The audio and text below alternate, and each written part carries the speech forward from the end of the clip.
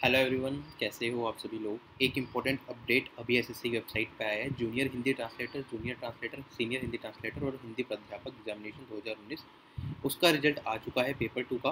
ठीक है, आप यहाँ पे कट ऑफ़ से सकते हो। अलग अलग कैटेगरी से जो जो कट ऑफ़ गई है पेपर टू के बाद तेरह कैंडिडेट्स को क्वालिफाई किया गया है और पेपर वन को क्वालिफाई करने वाले आपके उन्नीस सौ सतहत्तर कैंडिडेट थे, जो पेपर टू में अपियर हुए थे।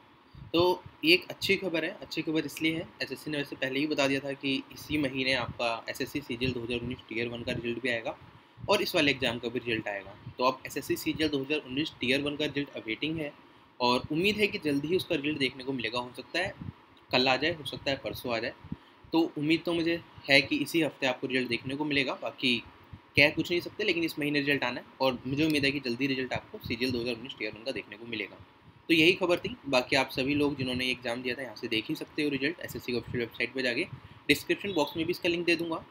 साथ ही साथ एस एस सी की वेबसाइट पर रिज़ल्ट खोलने में जाके आप जी सिलेक्ट करोगे तो वहाँ पर आपको लिस्ट मिल जाएगी। लिस्ट खोलोगे तो आप लिस्ट में अपना नाम चेक कर सकते हो। अगर आपके कट से ज़्यादा मार्क्स हैं कि आपका नाम है या नहीं। ठीक है? तो इसका लिंक भी डिस्क्रिप्शन बॉक्स में दे दूँगा। तो फ़िलहाल आपसे यही विदा लेता हूँ। आपका दिन शुभ हो। जय हिंद।